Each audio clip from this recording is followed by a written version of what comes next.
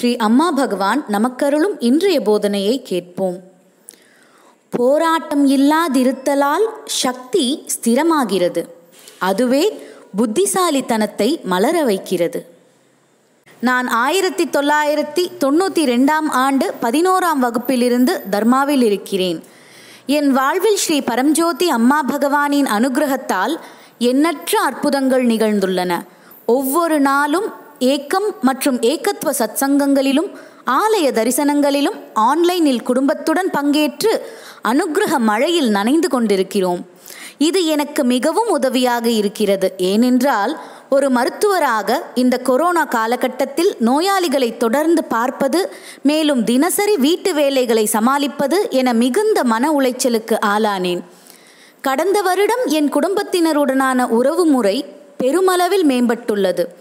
இன்று காலை நான் குளிக்கும்போது தண்ணீர் என்மேல் விழுவதை என்னால் தெளிவாக உணர முடிந்தது. அதன் வெதுவெதுப்பு சோப்பின் நறுமணம் என அனைத்தையும் உணர முடிந்தது. நான் யோகா செய்து கொண்டிருந்த போது எனக்கு தட்டியது என் மனம் முற்றிலும் அமைதியாக உள்ளது என்று. உள்வுரையாடல் எதுவுமே இல்லை.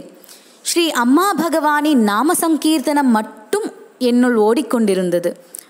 ஒரு நிமிடம் பின்னோக்கி பார்க்கும்போதுதான் தெரிந்தது இன்று காலை முதல் பேரானந்தத்தில் திளைக்கின்றேன் என்று. நான் கணவருடனும் பெற்றோருடனும் மனதில் எந்த குழப்பமுமின்றி சந்தோஷமாக பேசிக்கொண்டிருந்தேன். நான் யாரையும் அவசரப்படுத்தவில்லை. என்னுள் நிறைந்த சக்தி இருந்தது. என் தினசரி வேலைகளை திறம்பட முடித்தேன். ஒவ்வொரு பருக்கை உணவையும் ரசித்து ருசித்தேன். ஏன் பருகும் தண்ணீரும் கூட சுவையாக இருந்தது?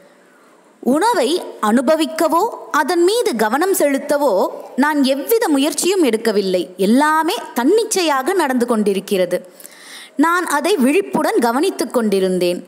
தினமும் அலுவலகத்திற்கு செல்லும்போது போக்குவரத்து தடங்கல்களால் மிகுந்த விரக்தி ஏற்படும். ஆனால் இன்றோ அதே சூழ்நிலை என்னை பாதிக்கவில்லை. சிக்னல்கள் பிரகாசமான நிறங்களில் வழியெல்லாம் பூக்கள் மலர்ந்திருப்பது போல் இருந்தது. என் காரை கடந்து சில பட்டாம்பூச்சிகள் பறப்பது பூக்களும் இலைகளும் கீழே உதிர்ந்து தரையில் வீழ்வது என அனைத்தையும் கவனித்தேன்.